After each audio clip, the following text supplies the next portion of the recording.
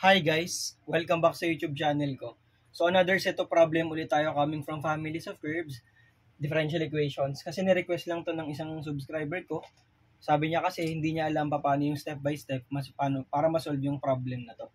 So ito yung problem niya. Find the equivalent differential equation for all hyperbola centered at the origin. So ito kasi pag kasi kapag sa ganitong klase ng mga problems, dapat alam mo yung pinaka fundamentals ng analytic geometry.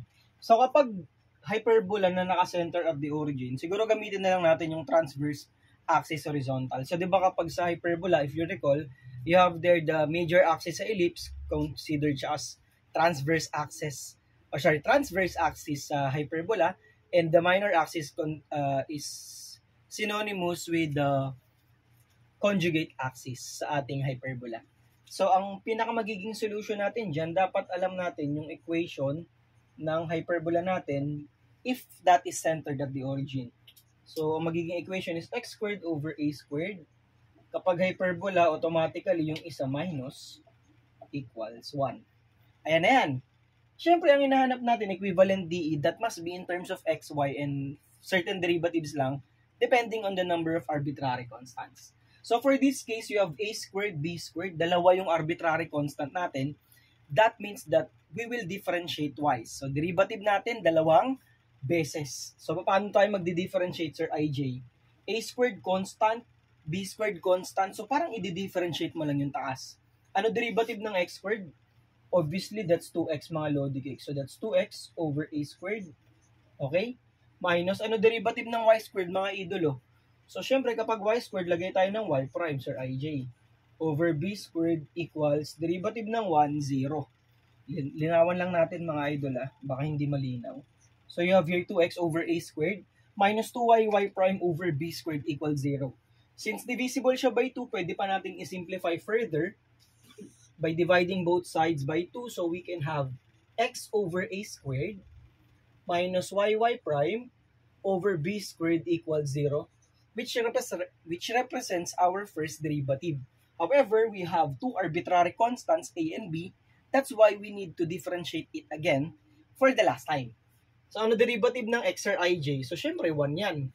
1 over a squared minus yung b squared copy lang sa baba. This will apply product rule. UdV plus VDU. So, ang gagawin lang natin, y multiplied by the derivative of y prime which is y double prime plus, kasi yung negative naman nasa labas. y prime, vd yung mga lodi, multiplied by the derivative of y which is y prime equals 0. Ulitin ko po ah, udv plus vdu. Diba? So, tandaan lang po natin yung product tsaka mga quotient rule, napaka-importante dito. So, ito na yung first derivative natin. Ito yung second derivative natin. How do we eliminate, Sir IJ? the arbitrary constants A and B. Okay, let's do some magic, mga Lodi cakes. Eto, kapag sinimplify ko to mga Lodi cakes, pwede ko tong gawin na ito, cross-multiply ko lang, cross-multiply, tapos ito, pag minultiply natin by 0, magiging 0 yan. So this will now become, cross-multiply natin, b squared x minus a squared y y prime equals 0. So, pwede kong makuha yung ratio ng b squared tsaka ng a squared.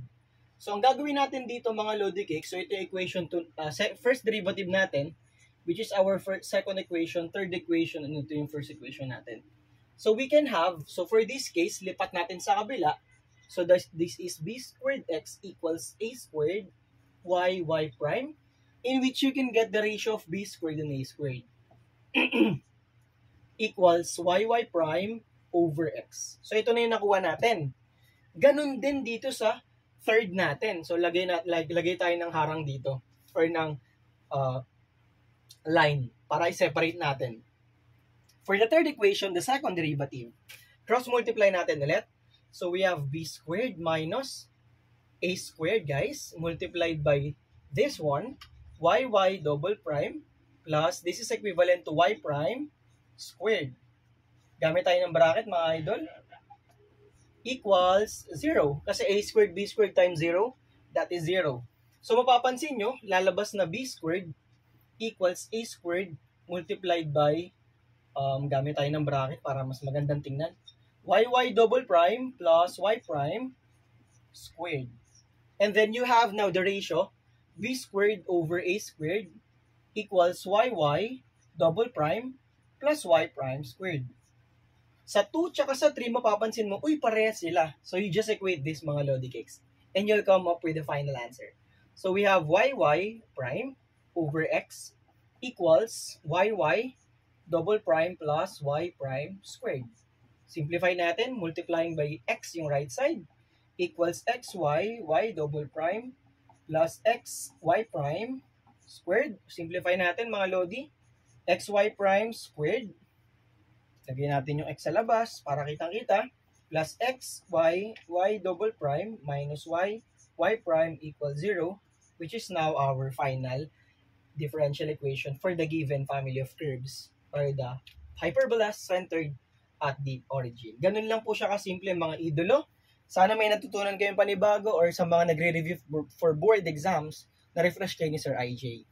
If ever you have questions or clarifications, wag po kayo mahiya mag-comment sa comment section. And thank you so much everyone.